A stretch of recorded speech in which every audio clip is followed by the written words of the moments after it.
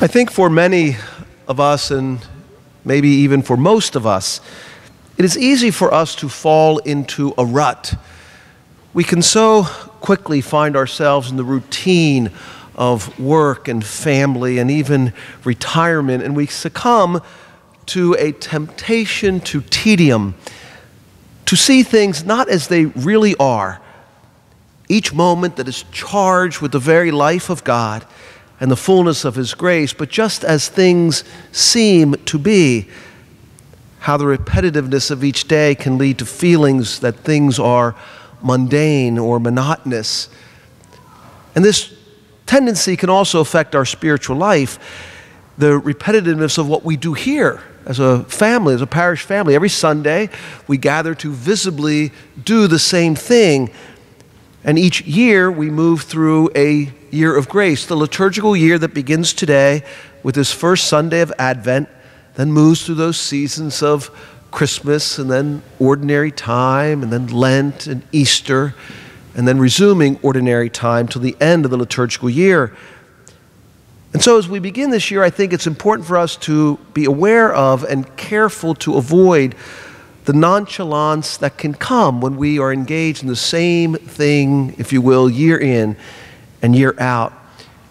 We should pray earnestly to avoid that temptation to tedium so that we might see the newness of each day. How each moment of each day is an incomparable opportunity for us to be touched by God, to grow in that life that He wishes to share with us. Each year on this first Sunday of Advent, we hear the same message that is proclaimed that we are to prepare that we are to be attentive to our spiritual life and how hard that is for us in our materialistic world. And certainly during Advent, when we will be constantly bombarded with advertisements over the next three weeks to do nothing but shop and buy. What is the preparation that you and I, men and women of faith, are called to undertake?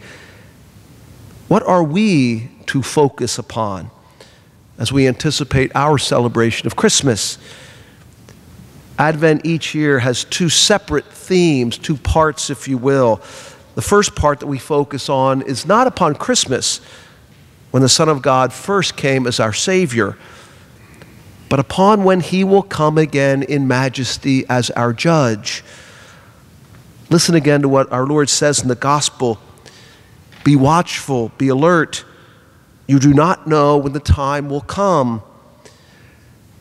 You know, each year in November, we pray for all of those whose names are inscribed on our All Souls envelopes. We do that each day. When we began this month, All Souls Day fell upon a Sunday, and we recited the names of all those of our parish family who died this past year, and we had their names listed in the books at the entrances to the church. But throughout this month, have we really taken the time to think of them and to pray for them? Have we thought about our own death? Again, Jesus says three times in our gospel that we are to watch, to be attentive to that reality that awaits us as death. As we recalled last Sunday, that dramatic scene of the last Sunday recorded at the end of St. Matthew's gospel. Do we try to keep this in the forefront of our mind, or do we easily forget it or not even think about it? Do we just go through each day in that repetitiveness of life? Do we remain locked, if you will, in our own routines? How can we break out of that attitude of inattentiveness that can creep in and open ourselves up to the wondrous experience of God's life and love that He wishes to share with us? Certainly, it is the theme of today's reading, the final coming of Christ, the thought of our own death that has the power to alert us and to dramatically change us. This event that awaits all of us at a time that we do not know has a fundamental meaning, and it calls us and it prompts us to be alert, to break out of any kind of ambivalence that can creep in. And at the root of this call to change, can't we see it the first step? is to seek forgiveness of our sins, to experience God's healing and His restorative love. What an indescribable gift that mercy of God is, and how it is the only conceivable way that we can properly prepare for His second coming by crying out to the Lord, I am sorry. And then by hearing Him say to us, I forgive you.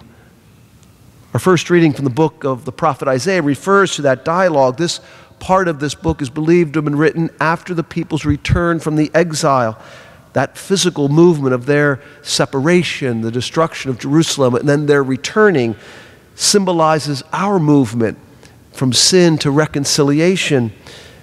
As the writer questions God as to why he lets us wonder, while our guilt carries us away like the wind, but then we cry out to the Lord to return for the sake of his servants.